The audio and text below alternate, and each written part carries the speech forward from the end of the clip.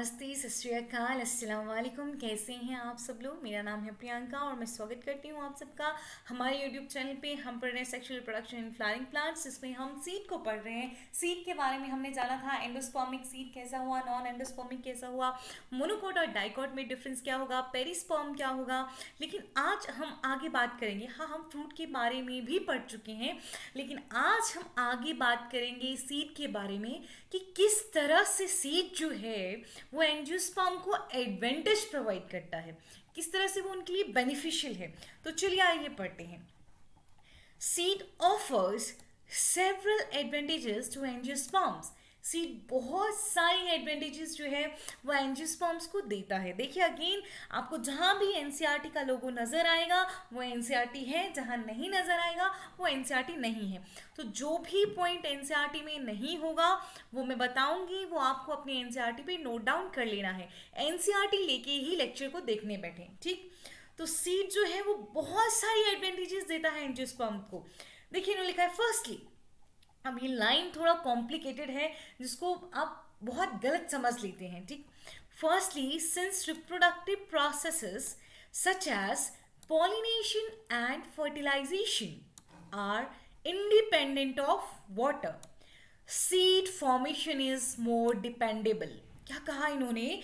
कि क्योंकि reproductive processes जैसे कि पॉलिनेशन और फर्टिलाइजेशन उनमें पानी की ज़रूरत नहीं होती है जबकि सीड फॉर्मेशन जो है, वो मोर डिपेंडेबल है। आप इस लाइन का मतलब कैसे समझ रहे हैं? मैं बताऊँ आप कैसे समझ रहे हैं? आप समझ रहे हैं कि मैम ये लाइन कह रही है कि जो रिप्रोडक्टिव प्रोसेसेस हैं, जैसे कि पॉलिनेशन का होना फर्टिलाइजेशन का होना, उसमें पानी नहीं चाहिए। लेकिन सीड फॉर्मेशन के टाइम पे पानी चाहिए। देखो सीड जर्मिनेशन के टाइम पे पानी चाहिए, वो एक अलग बात है। लेकिन सीड फॉर्मेशन के टाइम पे भी आपको पानी नहीं चाहिए। अब इसका एक्चुअल मीनिंग समझिए।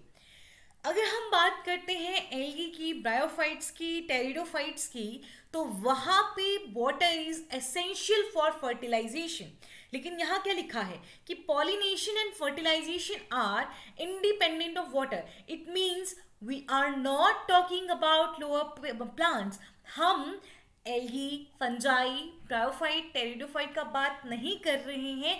हम बात कर रहे हैं एंजियोस्पर्म की, जिनमें की पॉलिनेशन और फर्टिलाइजेशन के लिए वाटर का ज़रूरत नहीं होता है।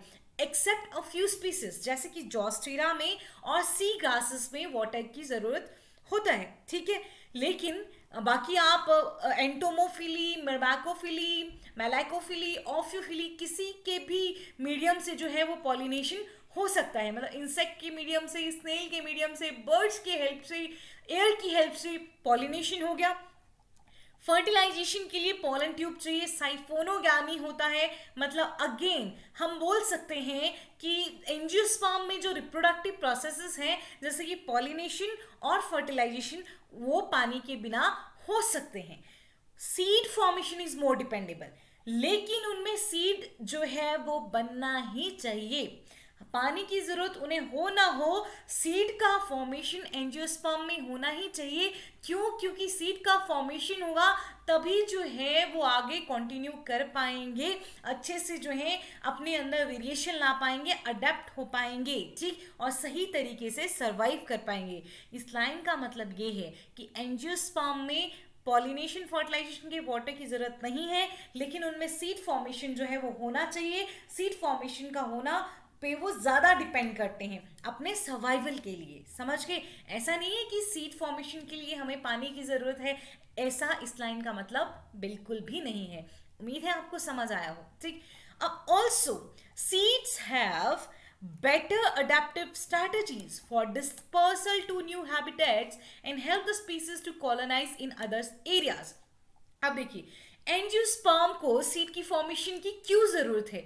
क्योंकि जो सीड होता है उसके पास ज़्यादा बेहतर अडेप्टिव तरीके होते हैं। वो जानता है मतलब उसमें जो है, वो नए नए हैबिटेट में जाने पे नई नई जगह के जाने के लिए उसमें मैकेनिज्म होते हैं, ठीक? उससे क्या होता है, एक स्पीसीज जो है, वो अलग अलग जगह पे अपनी कॉलोनीज बना पाती है। समझ गए आप? तो एक एंजियोस्पर्म है मतलब प्लांट है, उसमें अगर सीड ग्रो करता है तो सीड जो है, वो दूसरी कहीं जगह पे जाके भी जर्मिनेट हो जाएगा और वहाँ भी उस प्लांट का जो है, वो कॉलोनी बन जाएगी। तो इसीलिए seed formation is more dependable ठीक है? As they have sufficient food reserve young seedling are nourished until they are capable of photosynthesizing on their own अब तीसरी बात कि क्यों जो है वो सीड फॉर्मेशन पे एंजियोस्पर्म ज़्यादा डिपेंडेबल है? क्योंकि सीड में जो है वो भरपूर मात्रा में फ़ूड रिज़र्व होता है। होता है कि नहीं? एंडोस्पर्म है। कॉटिलीडेंस हैं, ठीक है? तो भरपूर मात्रा में जो है, वो सीड में फ़ूड रिज़र्व है तो जो यंग सीडलिंग होगी, जो नया नया पौधा निकल के आ रहा है, ठीक? उसको अच्छे तरीके से नरिशमेंट मिलेगा, जब तक कि वो खुद से फोटोसिंथेसिस करने लायक नहीं हो जाता है। समझ गए? ठीक? अब नेक्स्ट बात, कि क्यों सीड फॉर्मेशन पे जो है, वो एंजियोस्पर्म ज़्यादा डिपेंडेंट है? क्योंकि the hard seed coat provide protection to the young embryo जो यंग एम्ब्रियो है, उसको प्रोटेक्शन कौन प्रोवाइड करेगा? जो हार्ड सीड कोट है, वही प्रोवाइड करेगा।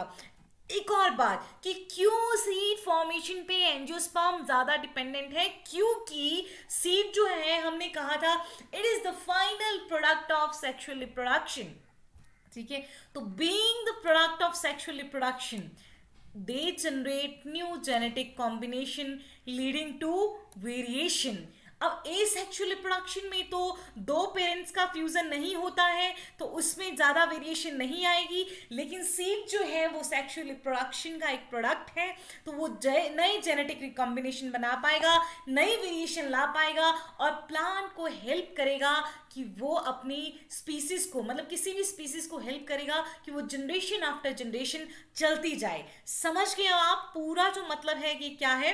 कि पॉलिनेशन और फर्टिलाइजेशन इंडिपेंडेंट ऑफ़ वाटर है, लेकिन सीड का फॉर्मेशन एंजियोस्पर्म में जो है वो होना चाहिए, क्योंकि सीड के फॉर्मेशन पे एंजियोस्पर्म ज़्यादा डिपेंडेंट है।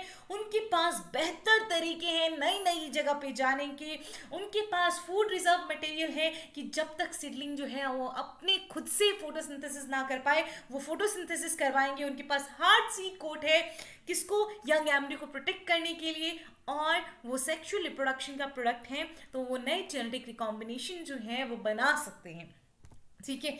अब सीड जो है it is the basis of agriculture agriculture का अगर आधार हम कहते हैं तो हम किसको कहेंगे? सीड को ही कहेंगे।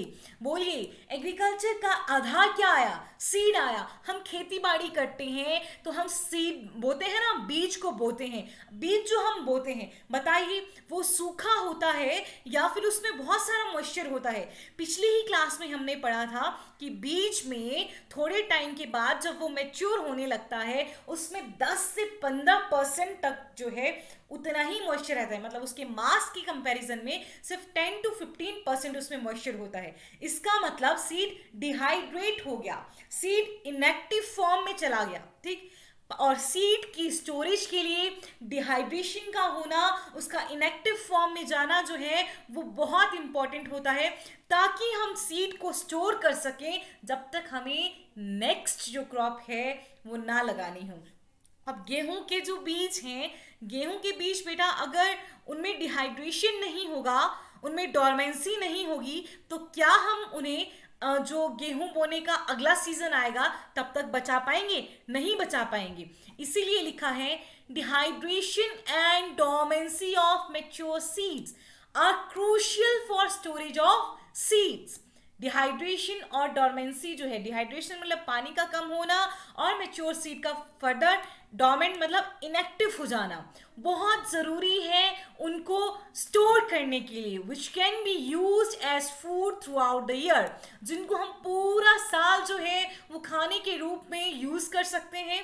और नेक्स्ट सीज़न में हमें जो क्रॉप उगानी है, उसमें भी हम यूज़ करेंगे। Also to raise crop in the next season ठीक? आगे ये आपसे पूछते हैं कि can you imagine agriculture in the absence of seeds और in the presence of seeds which germinate straight away soon after formation and cannot be stored तो क्या आप एग्रीकल्चर को इमेजिन कर सकते हैं सीड की एब्सेंस में नहीं कर सकते हैं हम एग्रीकल्चर को सीड की एब्सेंस में बिल्कुल भी इमेजिन नहीं कर सकते हैं या फिर ऐसा आप इमेजिन कर सकते हैं कि सीड जो है, वो एकदम से जर्मिनेट हो गया। जैसे ही वो बना, वैसे ही वो जर्मिनेट हो जाएगा और उसको हम स्टोर नहीं कर सकते।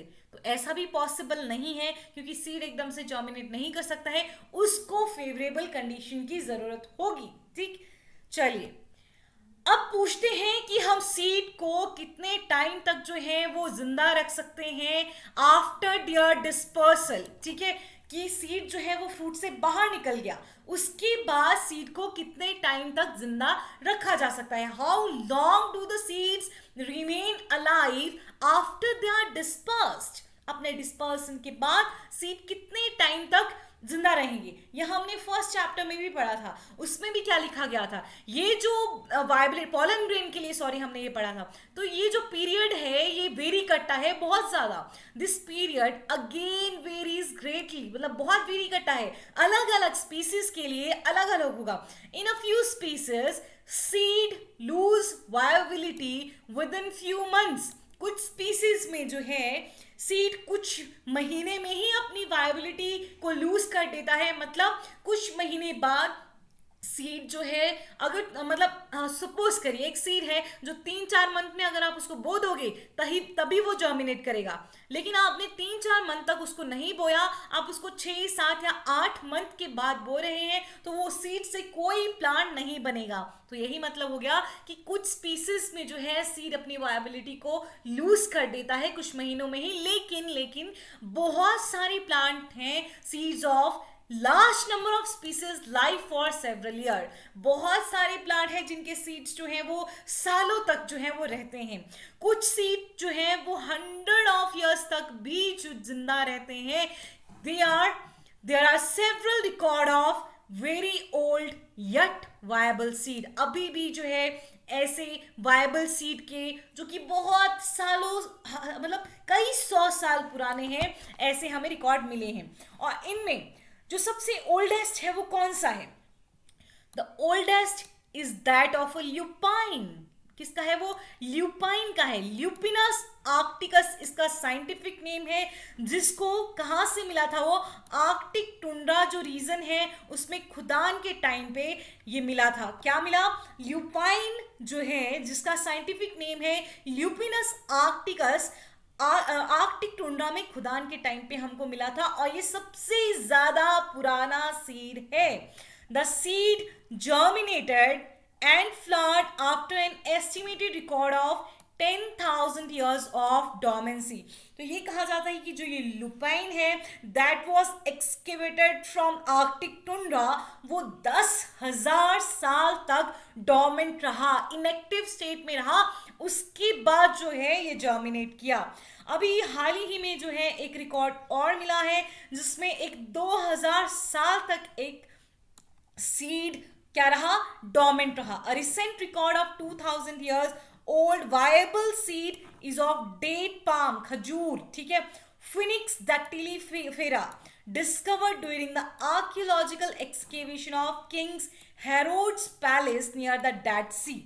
तो हाल ही में, हाल ही में तो हमें नहीं लगता कि 2000 साल पुराना हाल ही में मतलब मिला अभी है वो, लेकिन डॉर्मेंट था वो 2000 साल पहले से।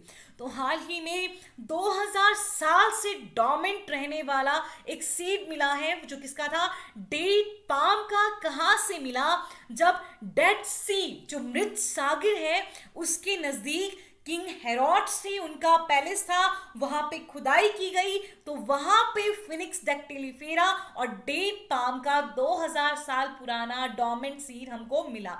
तो सबसे ओल्डेस्ट आ गया ल्यूपिनस आर्कटिकस और ल्यूपाइन और 2000 साल पहले जो मिला, वो मिला फिनिक्स डेक्टिलीफेरा। फिनिक्स डेक्टिलीफेरा किस, कहा मिला? वो मिला है डेड सी के पास, किंग हेरोड्स के पैलेस के खुदान के टाइम पे, और आर्कटिक टुंडा में मिला है ल्यूपाइन, ठीक है? अब इतना सब हमने पढ़ा तो अब हमें कुछ क्वेश्चंस करने चाहिए। यही ये यहाँ पे बोल रहा है कि इतना जो हमने थोड़ा जाना ब्रीफ अकाउंट लिया sexual reproduction of flowering plants का तो it would be what attempting to comprehend the enormous reproductive capacity of some flowering plants by asking the following question. तो चलिए, कुछ क्वेश्चन हम आपसे पूछते हैं और और जानते हैं कि क्या क्या कैपेसिटी है फ्लावरिंग प्लांट्स की। तो इन क्वेश्चंस को ध्यान से सुनिएगा और नोट डाउन कर लीजिएगा अपनी एनसीईआरटी पे। How many eggs are present in an embryo sac answer करिए, खुद से आंसर करिए। एक एम्ब्रियो सैक में कितने एग्स होते हैं? देखिए एक एम्ब्रियोसैक में तीन एंटीपोडल, जो टिपिकल एम्ब्रियोसैक है, उसकी हम बात करें। एक टिपिकल एम्ब्रियोसैक में तीन एंटीपोडल सेल हैं। एक सेकेंडरी न्यूक्लियस है, या दो पोलर न्यूक्लियाई कह लीजिए। दो सिनर्जिड हैं और एक एग है। तो how many eggs are present in in an embryo sac? One egg is present in an embryo sac. Next question how many embryo sac are present in an ovule एक ovule के अंदर कितने embryo sac होते हैं? Normally generally जब polyembryony ना हुई हो मतलब मल्टीपल एम्ब्रियो नहीं बने हो तो नॉर्मली एक ओव्यूल में एक ही एम्ब्रियोसैक होता है। Next question how many ovules are present in an ovary अब एक ओवरी में कितने ओव्यूल होते हैं? तो कई बार हम, जैसे मैंगो में, एक ओवरी में एक ही ओव्यूल है, लेकिन बहुत, जैसे आप देखते हैं, मटर का दाना देखिए, एक ओवरी में बहुत सारे ओव्यूल हैं तो वन टू मैनी हम इसका आंसर कर सकते हैं कि एक ओवरी में एक से लेके बहुत सारे ओव्यूल्स हो सकते हैं।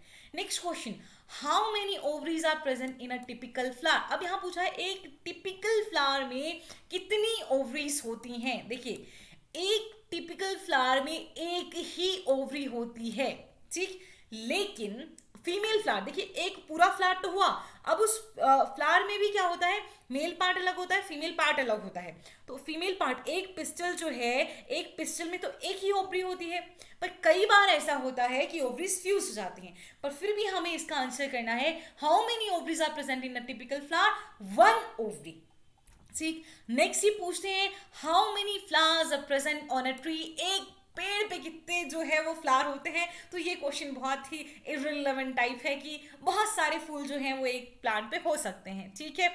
चलिए, अब ये आपसे पूछते हैं कि क्या आप ऐसे कुछ प्लांट के बारे में सोच सकते हैं जिनमें फ्रूट में बहुत सारे सीड्स होते हैं। Can you think of some plant in which fruits contain very large number of seeds क्या आप सोच सकते हैं ऐसे प्लांट के बारे में? बिल्कुल हम सोच सकते हैं। आगे इन्होंने खुद भी आंसर किया है। ऑर्किड्स जो होते हैं ऑर्किड का फ्रूट जो होता है are one such category and each fruit contain thousands of tiny seeds ये कहा जाता है कि सबसे ज़्यादा जो छोटे सीड्स हैं, वो ऑर्किड्स में पाए जाते हैं। तो ऑर्किड का फ्रूट जो है, उसमें हज़ारों की संख्या में बहुत छोटे छोटे सीड्स होते हैं। और ऐसा ही कुछ और स्पीसीज में भी होता है जो कि है पैरासिटिक स्पीसीज ओरोबैंकियन स्ट्रिगा में भी बहुत छोटे छोटे सीड्स पाए जाते हैं। तो पैरासिटिक स्पीसीज बेटा आपने कौन सी पढ़ी? ओरोबैंकियन स्ट्रिगा ये जो आपको यहाँ दिख रहा है, बेटा ये है सीड्स ऑफ़ ऑर्किड्स देखिए ये फ्रूट है ऑर्किड का, जिसमें बहुत ही हज़ारों की संख्या में छोटे छोटे सीड्स जो हैं वो आपको नज़र आ रहे हैं। तो ऑर्किड बेटा एपिफाइटिक प्लांट है और जो ऑर्किड्स मोस्टली एपिफाइटिक होते हैं। और पैरासिटिक स्पीसीज आपने पढ़ी ओरोबैंक एंड स्ट्रीगा जिनमें बहुत छोटे छोटे छोटे छोटे सीड्स पाए जाते हैं, ठीक? अब, क्या आपने have you seen a tiny seed of ficus क्या आपने फाइकस के जो है, वो छोटे छोटे सीड देखे हैं? नहीं देखे हैं तो ये देखिए, ये छोटे छोटे सीड्स हैं फाइकस के नज़र आ रहे हैं आपको यहाँ पे। फाइकस के फ्रूट में कितने छोटे छोटे सीड्स हैं, ठीक? How a large how large is the tree of ficus dwell from that tiny seed how many billions of seed does each ficus tree produce कितना बड़ा होता है? इतने छोटे से सीड से बना हुआ वो फाइकस का पेड़ कितना बड़ा होता है? और उस पेड़ पे कितने ही बिलियन जो हैं, वो सीड्स होंगे। देखिए, ये इतने छोटा सा सीड एक छोटा सा सीड में इतनी कैपेबिलिटी होती है कि वो इतना बड़ा पेड़ बना पाए और इस बड़े पेड़ पे कई बिलियंस की संख्या में आपको जो है, वो सीड देखने को मिलेंगे। अब बोलते हैं can you imagine any other example in which such a tiny structure can produce such a large biomass over the years ये पूछ रहे हैं कि क्या आप ऐसे ही किसी और स्ट्रक्चर के बारे में सोच सकते हैं? किसी और प्लांट के बारे में सोच सकते हैं, जिसमें इतना सा जो स्ट्रक्चर है, वो कुछ टाइम के बाद बहुत ज़्यादा बायोमास बना देगा। तो ऐसे आपको बहुत सारे एग्ज़ाम्पल मिल जाएँगे। सफ़ेदे का अगर आपने पेड़ सुना होगा यूकेलिप्टस उसको कहते हैं, उसमें भी छोटे छोटे सीड्स होते हैं, लेकिन बाद में वो बहुत बड़ा पेड़ बना सकते हैं। यहाँ पे देखिए, यह बेटा ड्रैगन फ्रूट ड्रैगन फ्रूट भी एक ऐसा ही एग्ज़ाम्पल आता है, जिसमें आपको ये छोटे छोटे सीड नज़र आ रहे हैं और ये बड़ा सा प्लांट जो है वो बना देंगे, ठीक? नेक्स्ट हम बात करते हैं एपोमिक्सिस एंड पॉलीएम्ब्रियोनी की। One of the very important topic बहुत ध्यान से सुनिएगा। कहीं भी कंफ्यूज मत होना। कंफ्यूजन जो है, अगर होगी तो टॉपिक समझ नहीं आएगा। जहाँ समझ नहीं आता है, आप मुझे बता सकते हैं, ठीक है? ऑल दो देखिए पहले ऐसे सुनिए। मोस्टली जो है, पढ़िए मत। सुनिए कि मैम क्या कह रहे हैं। मैम कह रही हैं कि मोस्टली जो सीड्स होते हैं, वो फर्टिलाइजेशन से बनते हैं। ठीक है? जैसे हमने पढ़ा था कि मोस्टली फ्रूट जो है वो कैसे बनते हैं? फर्टिलाइजेशन से बनते हैं। लेकिन जब फ्रूट जो है वो फर्टिलाइजेशन के बिना बना तो उसको बोला हमने पार्थिनोकार्पिक फ्रूट वैसे ही सीड जो है वो बिना फर्टिलाइजेशन के बन सकता है। और सीड का बिना फर्टिलाइजेशन के बनना वो होता है एपोमिक्सिस अब तुम बोलोगे, मैम, ऐसा कैसे हो सकता है? सीड बिना फर्टिलाइजेशन के कैसे बन सकता है? क्योंकि एग में तो है, वो हेप्लॉइड नंबर ऑफ़ क्रोमोसोम होते हैं। तो आगे सीड जो है, वो हेप्लॉइड कैसे हो सकता है? ठीक? तो बेटा जब, सुनना मेरी बात, जब एग जो है, वो बिना मियोसिस के बनेगा मतलब मेगास्पोर मदर सेल में मियोसिस नहीं होगी, ठीक है? ये है मेगास्पोर मदर सेल इसमें मियोसिस नहीं होगी इंस्टेंट माइटोसिस होगी तो इससे जो एग बनेगा, जैसे माइटोसिस से ही एग बना तो चाहे कोई भी स्ट्रक्चर होगा, उसमें क्या होगा? टू एन होगी प्लोइडी कैसी होगी? To N. तो एग में भी कैसी होगी? डिप्लॉइड होगी, क्योंकि मेगास्पोर मदर सेल का प्लोइडी कैसा था? To N. फिर माइटोसिस से ही अगर एग बन रहा है तो एग की प्लोइडी कैसी होगी?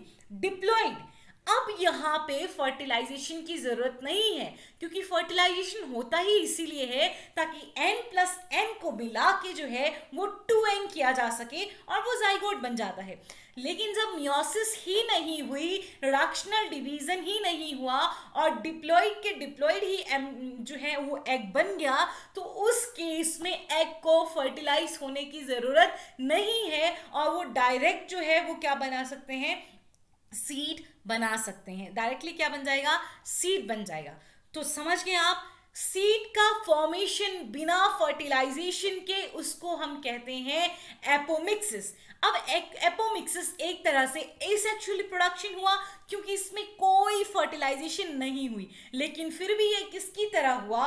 ये हुआ सेक्सुअल प्रोडक्शन की तरह. इसमें एम्ब्रियो जो है वो बनेगा. ठीक है? सीड बनेगा सीड में एम्ब्रियो भी होगा, लेकिन बिना फर्टिलाइजेशन के. समझ गए ना आप? जो एग है, वो एम्ब्रियो बना देगा, लेकिन बिना फर्टिलाइजेशन के। समझ गए? चलिए अब आइए पढ़ते हैं। एक एक लाइन को हम अच्छे से समझते हैं। Although seeds in general are the product of fertilization seed किससे बना? फर्टिलाइजेशन से बना। A few flowering plant such as some species of Asteraceae and grasses लेकिन कुछ फ्लावरिंग प्लांट्स हैं एस्टीरेसी में, जैसे कि सनफ्लावर वगैरह जो है, वो किसमें आते हैं? एस्टीरेसी में आते हैं। ग्रासेस कौन सी फैमिली होगी? पोएसी और क्रामिने उनमें कुछ स्पेशल मैकेनिज्म इवॉल्व हुए हैं, जिनमें कि सीड प्रोड्यूस होता है विदाउट फर्टिलाइजेशन कॉल्ड एपोमिक्सिस तो सीड फॉर्मेशन विदाउट फर्टिलाइजेशन क्या हुआ? Apomixis so what is fruit production without fertilization called fruit का बनना बिना फर्टिलाइजेशन के क्या कहलाता है? पार्थिनोकार्पी सीड का बनना बिना फर्टिलाइजेशन के क्या कहलाता है? एपोमिक्सिस। और एक इंडिविजुअल का बनना, जैसे ड्रोन्स बने थे बिना फर्टिलाइजेशन के, उसको हम क्या बोलते हैं? पार्थिनोजेनेसिस। तो टर्म्स याद रखिएगा पार्थिनोकार्पी में फ्रूट बनेगा जो एपोमिक्सिस है, बिना फर्टिलाइजेशन के उसमें क्या बनता है? सीड बनता है और पाथिनोजेनेसिस में बिना फर्टिलाइजेशन के आपको नया इंडिविजुअल देखने को मिलता है। ठीक है? तो thus apomixis is a form of asexual reproduction that mimics sexual reproduction तो एपोमिक्सिस जो है, वो ए सेक्शुअल का ही ए सेक्शुअल रिप्रोडक्शन का ही हिस्सा है, लेकिन वो मिमिक्री करता है किसकी? सेक्शुअल रिप्रोडक्शन की। तो बहुत सारे तरीके हैं, देखिए। There are several ways of development of apomictic seeds बहुत सारे तरीके हैं जिसमें क्या है एपोमिक्टिक सीड जो है वो बन सकता है। In some species the diploid egg cell is form without reductional division and developed into an embryo without fertilization समझ गए आप कि डिप्लॉइड एग सेल बनी बिना रिडक्शनल डिवीज़न के मतलब बिना मियोसिस के और उसमें बिना फर्टिलाइजेशन के ही एम्ब्रियो बन गया। समझ गए? जब एग सेल ही डिप्लॉयड है तो उसमें फर्टिलाइजेशन की ज़रूरत नहीं है। डायरेक्टली क्या बन गया? एम्ब्रियो बन गया। और इसी तरह से एपोमिक्टिक सीड बन गया, जिसमें फर्टिलाइजेशन हुई ही नहीं। लेकिन सीड में एम्ब्रियो ज़रूर है। समझ गए?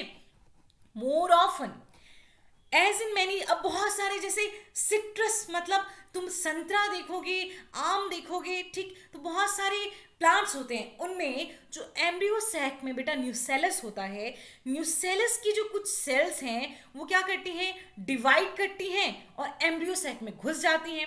समझो मेरी बात को, क्या कहा मैंने? न्यूसेलस की कुछ सेल जो हैं, वो क्या करेंगी? डिवाइड करेंगी और एम्ब्रियो सैक में घुस जाएँगी, ठीक? एम्ब्रियो सैक में घुस गई। अब वो सेल कैसी है? डिप्लॉयड है। वो डिप्लॉयड सेल जब एम्ब्रियो सैक में घुसती हैं तो वो भी एक एम्ब्रियो बना सकती हैं। तो एक तो वो एम्ब्रियो हो गया, दूसरा वो एम्ब्रियो जो एग के फर्टिलाइजेशन के बाद बनेगा तो दो एम्ब्रियो हो गए वहाँ पे। तो ऐसी कंडीशन को हम क्या कहेंगे? पॉली एम्ब्रियोनी जब एक से ज़्यादा एम्ब्रियो जो है वो बन गया है, ऐसी कंडीशन को हम क्या कहेंगे? पॉली एम्ब्रियोनी चलिए, आइए अब पढ़ते हैं। More often as in many citrus and mango varieties some of the nucellar cells कुछ सिट्रस की और मैंगो की वेराइटीज होती हैं, जिसमें nucellar cell surrounding the embryo sac कहाँ होती है न्यूसेलर सेल एम्ब्रियोसैक के आसपास. They start dividing protrude into the embryo sac and develop into the embryos समझ गए? सिट्रस और मैंगो में जो एम्ब्रियोसेक के आसपास न्यूसेलर सेल होती हैं, उनमें से कुछ सेल अगर डिवाइड करती है, वो एम्ब्रियोसेक के अंदर घुसती है और एम्ब्रियोसेक के अंदर घुस के वो दूसरा एम्ब्रियो बना सकती है। तो in such species each ovule contain many embryos और ऐसी स्पीसीज में हर एक ओव्यूल में बहुत सारे एम्ब्रियो बनेंगे। Occurrence of more than embryos ठीक है? Occurrence of more than embryos in a seed is refer to as polyembryony तो एक से ज़्यादा जब आपके पास सीड बन रहे हैं तो उसको क्या कहा गया? एक सीड नहीं, एक से ज़्यादा एम्ब्रियो जब एक सीड में होंगे, एक ओव्यूल में होंगे तो उसको हम कहेंगे पॉली पॉलीएम्ब्रियोनी यहाँ पे जो आपने पढ़ा, यह है adventive polyembryony further polyembryony पे मैं स्पेशल लेक्चर लूँगी, क्योंकि अदरवाइज़ मैं अभी ज़्यादा बताऊँगी पॉली एम्ब्रियोनी के बारे में तो लेक्चर बहुत लंबा हो जाएगा। तो मैं अलग से extra stroke lecture polyembryony पे लूँगी, ताकि आप अच्छे से क्वेश्चन जो है वो अटेम्प्ट कर सकें। ठीक है? तो ये देखिए, ये आपको यहाँ पे नज़र आ रहा है एक सीड इस सीट से देखिए कितनी सारी शूट निकल के आई हैं। क्यों इतनी शूट निकल के आई? क्योंकि बहुत सारे एम्ब्रियोज हैं, उन एम्ब्रियोज के पास उतने ही प्लेम्यूले हैं और बहुत सारे शूट जो है वो निकलेंगे। यही है पॉलीएम्ब्रियोनी। एक सीड में एक से ज़्यादा एम्ब्रियो का होना पॉलीएम्ब्रियोनी होता है। ठीक है? अब ये देखिए, मैंगो में देखिए, यह एक एम्ब्रियो, ये एक ही एम्ब्रियो है, ठीक? यहाँ देखिए दो एम्ब्रियोज हैं। ये हो गया एक एम्ब्रियो, ठीक? ये हो गया, दूसरा एम्ब्रियो तो आपको ज़्यादा एम्ब्रियो जो है वो देखने को मिल रहे हैं, ठीक है? अब, ये बोलते हैं आपको कि कुछ सीड लो ऑरेंज के, ठीक है? फिर उनको स्क्वीज करो, करके देखना है ऐसा, ठीक? अब आप स्क्वीज करोगे तो आपको उसमें डिफरेंट साइज़ और शेप के अलग अलग एम्ब्रियोज मिलेंगे हर एक सीड में। तो उन एम्ब्रियो का नंबर आप काउंट करिए। देखिए, अगर आपसे होता है तो ज़रूर बताइए। अब नेक्स्ट क्वेश्चन है what would be the genetic nature of apomictic seed जो एपोमिक्टिक सीड है एपोमिक्टिक एम्ब्रियोस है मेनली उनका जेनेटिक नेचर कैसा होगा? तो मुझे बताइए, क्या इसमें कोई फर्टिलाइजेशन हुई, कोई मियोसिस हुई? नहीं हुई, बिल्कुल नहीं हुई। फर्टिलाइजेशन ही नहीं हुई तो कैरेक्टर मिक्स नहीं होंगे। तो एम्ब्रियो जो एपोमिक्टिक एम्ब्रियो है, वो कैसा होगा? बताइए बिल्कुल अपने पेरेंट की तरह होगा। तो can they be called clones क्या हम उनको क्लोन बोल सकते हैं? यस yes, एक बार चलिए आंसर पढ़ लेते हैं। Diploid egg is formed in embryo sac diploid egg बना एम्ब्रियो सैक में which develops into embryo without fertilization diploid egg बना एम्ब्रियो सैक में जो फर्दर बिना फर्टिलाइजेशन के एम्ब्रियो में कन्वर्ट हो गया।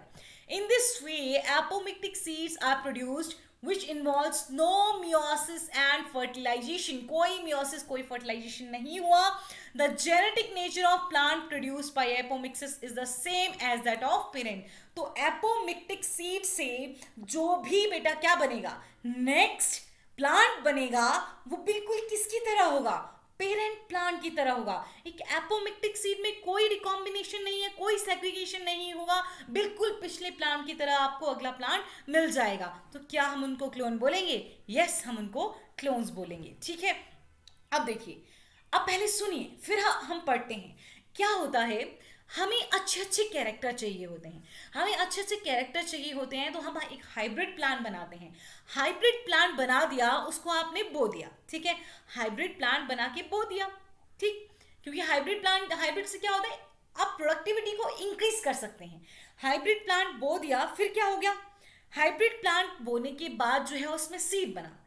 लेकिन बेटा, जो आपने हाइब्रिड बनाया था, उसमें एक कैरेक्टर मेल से भी आया था, एक कैरेक्टर फीमेल से भी आया था। अब नेक्स्ट जो, आ, जाएगा सीट बनेगा, उसमें क्या होगा? सेग्रीगेशन ऑफ़ कैरेक्टर क्या होगी? कैरेक्टर फिर अलग अलग होने लगेंगे। अब कैरेक्टर अलग अलग होंगे तो क्या आपको एक सीट में वो दोनों कैरेक्टर मिल पाएँगे? नहीं। अब आपको वो एक सीट में दोनों कैरेक्टर जो हैं, वो नहीं मिल पाएँगे। तो क्या होगा? हर बार जो किसान है, वो हाइब्रिड सीड बोएगा, लेकिन उसको वो अगली जनरेशन में सेम क्वालिटी वाला सीड नहीं मिलेगा। क्यों नहीं मिलेगा? क्योंकि कैरेक्टर जो है, वो क्या हो जाएँगे? सेग्रीगेट हो जाएँगे अलग अलग हो जाएँगे। आपने लॉ ऑफ़ सेग्रीगेशन पढ़ा होगा जेनेटिक्स में टेंथ में भी होता है, आगे हम पढ़ेंगे। अभी के लिए इतना याद रखिए, ठीक है?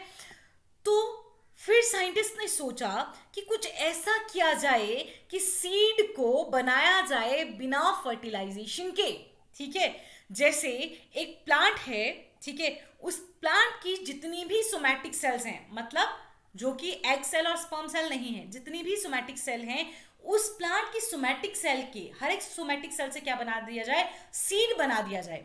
अब सोमैटिक सेल से जो सीड बनेगा, क्या उसमें बेटा कोई कैरेक्टर्स होंगे अलग अलग उसमें मतलब आप, आपने एक हाइब्रिड बना दिया। सुनो, आपने एक हाइब्रिड बना दिया, लेकिन आगे जो आपने सीड बनाए उससे, वो उसकी सोमैटिक सेल से बनाए। ठीक है? अब सोमैटिक सेल से जो सीड बनेगा बेटा, उसमें कैरेक्टर बिल्कुल पेरेंट की तरह ही रहेंगे और वो कितनी भी जनरेशन तक आप उसको बोलोगे, उसमें वही कैरेक्टर जो है वो मिलेंगे और किसान को बार बार बीज खरीदने की ज़रूरत नहीं पड़ेगी। वो एक ही बार बीज खरीद के हर बार फ़सल बो सकता है फिर अपने बीज अपने पास रख के अगली बार भी बो सकता है। लेकिन अभी तक इसका क्राइटेरिया पूरी तरह से नहीं समझा गया है। तो चलिए आइए पढ़ते हैं ताकि आपको बेहतर से समझ आए, ठीक है? Hybrid varieties of several of our food and vegetable crop are being extensively cultivated बहुत सारी हमारी वेजिटेबल्स हैं फ़ूड हैं, उनकी हाइब्रिड वेराइटीज जो हैं वो कल्टिवेट की जाती हैं। Cultivation of hybrids has tremendously increase productivity और इन हाइब्रिड की कल्टीवेशन जो से जो है, क्या हुआ है? प्रोडक्टिविटी इंक्रीज हुई है. One of the problem of hybrid is that hybrid seeds have to be produced every year क्या दिक्कत है हाइब्रिड की? कि हाइब्रिड सीड जो है, हर बार, हर साल बनाने पड़ते हैं कंपनीज़ उनको बनाती हैं कंपनीज़ जब उनको बनाती हैं, फिर किसानों को देती हैं, किसानों को वो बीज जो है वो महँगा पड़ता है, समझ गए ना? तो if the seed collected from the hybrids are shown, the plant in the progeny will seg segregate and do not maintain hybrid characters. बोला ना क्या बोला अगर हम हाइब्रिड प्लांट जो है वो बड़ा हुआ, उससे हम सीड लेते हैं, फिर से हम उसको बोते हैं और उससे जो प्लांट आएगा। तो पिछले प्लांट से जो अगला प्लांट आएगा, उसमें जो कैरेक्टर होंगे वो सेम नहीं होंगे, वो सेग्रीगेट हो जाएँगे। आगे जो प्रजनी होगी, किस, किसी में वो कैरेक्टर होगा, किसी में नहीं होगा अलग अलग अलग में होगा मतलब अलग अलग तरह से होगा। तो हाइब्रिड कैरेक्टर जो है वो मेंटेन नहीं रहेगा। तो फिर क्या होता है? Production of hybrid seed is costly and hence the cost of hybrid seed become too expensive for farmers. अब जो hybrid seed का production होता है, वो बहुत महँगा होता है और farmers जो हैं, उनके लिए वो बहुत महँगा हो सकता है। अब आपने माइक्रो प्रोपागेशन पढ़ा था, जिसमें सोमैटिक सेल से ही पूरा का पूरा प्लान बना दिया जाता है। अब आप किसानों को तो नहीं बोल सकते ना कि एक सेल से पूरा प्लान बनाइए, उनको क्या चाहिए? सीड चाहिए। लेकिन हाइब्रिड सीड जो है उसको जब हम नेचुरली जैसे ग्रो करते हैं, वैसे ग्रो करते हैं तो वो अपने कैरेक्टर्स को मेंटेन नहीं कर पाता है। तो तो अब क्या करना है? If the seeds are made into apomicts अगर इन सीड को एपोमिक्टिक बना दिया जाए मतलब कि जो हाइब्रिड सीड है, उससे जो प्लांट आया है, उस प्लांट से, उसकी सोमैटिक सेल से हम बनाएँगे क्या? आगे के सीड सीड विदाउट फर्टिलाइजेशन ठीक है? बिना फर्टिलाइजेशन के जो सीड बने हैं, उनमें कोई भी दो कैरेक्टर नहीं होंगे। एक ही पेरेंट का जो है वो वैसे के वैसे कैरेक्टर आ जाएँगे। तो अब कोई कैरेक्टर नहीं है दूसरे तो there is no segregation of character in the hybrid progeny तो प्रोजेनी में कोई भी जो है वो आपको सेग्रीगेशन नहीं मिलेगी। बिल्कुल पेरेंट की तरह ही प्लांट मिलेगा, क्योंकि वो प्लांट जो है, वो सीड जो है, वो कैसे आया था? वो आया था बिना फर्टिलाइजेशन के, जिसमें दो कैरेक्टर्स को हमने मिक्स नहीं किया था। ठीक? जैसे पेरेंट में कैरेक्टर पाए थे ठीक है, हमने वैसे ही हम जो है, वो आगे हमें मिल जाएँगे, ठीक है? सेम कैरेक्टर हमें देखने को मिलेंगे। Then the farmers can keep on using the hybrid seeds to raise new crops year after year and he does not have to buy hybrid seed yearly तो उसको हर साल जो है वो सीड खरीदने की ज़रूरत नहीं पड़ेगी। Because of the importance of apomixis in hybrid seed industry active research is going on in many laboratories around the world to understand the genetic and of apomixis and to transfer apomictic genes into the hybrid varieties तो ठीक है। Apomixis बनाने को बोला ना तो दुनिया में अलग अलग जो इंडस्ट्रीज़ हैं लेबोरेटरीज हैं, उनमें एपोमिक्टिक सीड बनाने की कोशिश की जा रही है, उसका जेनेटिक समझने की कोशिश की जा रही है, ताकि एपोमिक्टिक सीड जो है वो बनाया जा सके। अब ये थोड़ा सा एडिशनल पॉइंट आते हैं। वीवी पेरी क्या होता है बेटा? वीवी पेरी क्या हो गया? सीड का जर्मिनेट हो जाना एम्ब्रियो का बन जाना जब वो पेड़ के साथ ही अटैच है, अभी बाहर डिस्पोज भी नहीं हुआ है। देखिए vivipary in plants vivipary occurs when seed और embryo begin to develop before they detach from the parent देखिए पेरेंट से यहाँ अलग नहीं हुआ है और नेक्स्ट जो है प्लांट पहले ही बनना शुरू हो गया। तो it occurs mostly in mangroves ठीक? अब सीट कोट जो है बेटा, वो किसमें हेल्प करता है? वो हेल्प करता है एम्ब्रियो को मैकेनिकल इंजरी से बचाने के लिए प्रिडेटर से बचाने के लिए, उसको वो ज़्यादा सूख के फट ना जाए उससे। बाईटेक्मिक सीट जिनमें होते हैं, दो इंटाग्यूमेंट्स उनमें फॉर्म होता है testa from the outer integument and tegmen from the inner integument तो एक सीड में जो बाहर की तरफ़ को होगा, वो होगा टेस्टा उससे अंदर की तरफ़ को होगा टैगमेन तो यहाँ पे आपको सीड नज़र आ रहा है, देखिए ये है टैगमेन जो है अंदर टेस्टा बाहर टेस्टा बाहर की जो इंटाग्यूमेंट है, उससे बनेगा टेगमेंट अंदर के इंटाग्यूमेंट से बनेगा। फर्दर आप सब कुछ पढ़ चुके हैं। ये आपको माइक्रोपाइल नज़र आ रहा है, जिससे वाटर और ऑक्सीजन एंटर करते हैं। हाइलम आपने पॉइंट ऑफ़ अटैचमेंट कहा था फ्यूनिकल के बीच में एंड ओव्यूल के बीच में। देखिए, सब नज़र आ रहा है ना आपको? तो इसी के साथ आपका चैप्टर कंप्लीट होता है। पॉली एम्ब्रियोनिक पे मैं एक एक्स्ट्रा क्लास ज़रूर लूँगी। थोड़ा सा शॉर्ट क्लास होगा और उसमें आपको अच्छे से उसके बारे में बताया जाएगा। तो चलिए सेफ़ रहिए, अपना ध्यान रखिए।